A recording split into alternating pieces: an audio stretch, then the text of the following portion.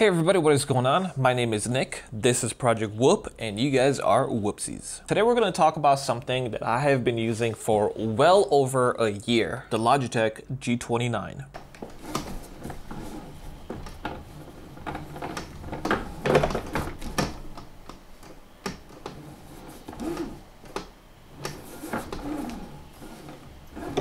The G29 and G920 are the same thing, except the G29 is for PS4 and the G920 is for Xbox. If you're planning on using it on PC, they both work exactly the same, but I personally prefer the G29 because you get a couple of extra buttons, a little wheel which you can bind to change brake bias, turbo level, or any other adjustable parameters, and it comes with a little LED rev limiter. So what do you get with the Logitech G29? Well, you do get the wheel with pedal shifter behind it and you get pedals, three of them, clutch, brake, and acceleration. If you want to get the manual stick shift, it's an extra $60. The wheel is enjoyable to race with, it's enjoyable to drift with, and it's enjoyable to cruise around in your game of choice. Uh, different games have different force feedback settings, and there are games there that if you turn the force feedback all the way to 100%, you will get a workout. If you're concerned about the strength of the force feedback, there is a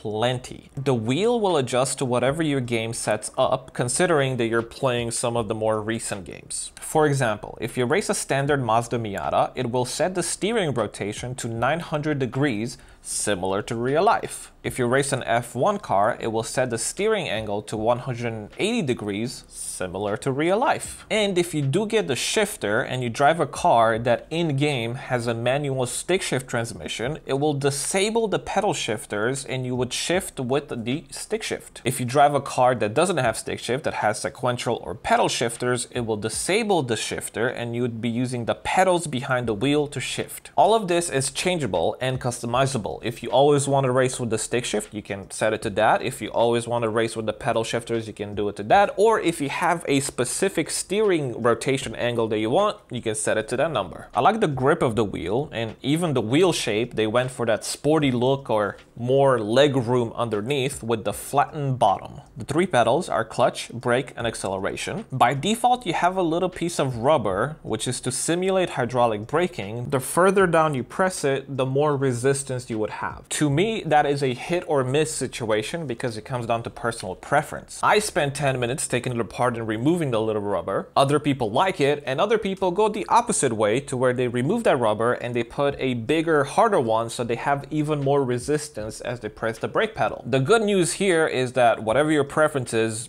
you can just change it. What I like about the setup is that you don't have to use all of it. So for example, in the future, if you upgrade the shifter or the pedals, you can just simply plug in the wheel and use the wheel normally, plug in whatever shifter you get to USB, plug in a hydraulic handbrake if you want to the USB. As long as you have USB ports, you can plug in as many things as you want. It's very easy to mount and unmount if you're using it on a table. It works with clamps, which are built into the design, so you don't have to bother with bolts or screws. The same goes for the shift Having said that, there are holes on everything if you want to mount them up in a more permanent setup, and there are many mounts for the wheel, which you can easily set it up and just pack it away whenever you're not racing. The pedals have a carpet stopper, and if you're worried about scratching anything, you can just simply click them into place, and now the only contact is the rubber pieces. I still think it's the best wheel that you can get if you're thinking about getting into racing. This has been my full review on this. If you guys have any questions, leave them in the comment section down below. I love y'all's faces very, very, very very much. Bless your beautiful, beautiful souls, and I'll see you guys later.